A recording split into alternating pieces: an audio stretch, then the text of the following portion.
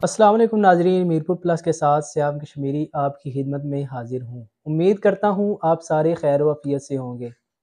नाजरीन, जैसा कि आप जानते हैं कि दिसंबर के आखिरी दिनों में मुल्क भर में शहरीों को शदीद फोग और स्मोक का सामना करना पड़ता है। इस वक्त मुल्क भर में यही सूरत हाल है कि शहरीों को फोग और स्मोक का सामना करना पड़ रहा है, जिसकी वजह से कई मकाम पर हादसे भी रोनमा हो रहे हैं। तो इससे बचने के लिए हमें क्या करना चाहिए, वो मैं आपको बताऊँगा। सबसे पहले गैर ज़रूरी सफ़र से इजतनाब करें। शदीद फोग में अगर आप कोई मजबूरी है सफ़र पर निकलते हैं तो अपनी गाड़ी या अपनी बाइक की।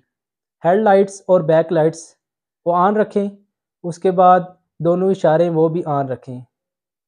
और अपनी गाड़ी और बाइक की रफ्तार कम से कम रखें, ताकि किसी भी हादसे से बचा जा सके। इसी तरह समोग की सूरत हाल में शहरीों को चाहिए, लोगों को चाहिए कि वो मास्क का इस्तेमाल करें स्मोक से बचने के लिए एनक्स का इस्तेमाल करें, इसके साथ साथ अपने सर और कानों को भी डांपें और इस शदीद सर्दी से बचें। आपकी जान बहुत कीमती है, अपनी जान की हिफाजत करें, बहुत शुक्रिया।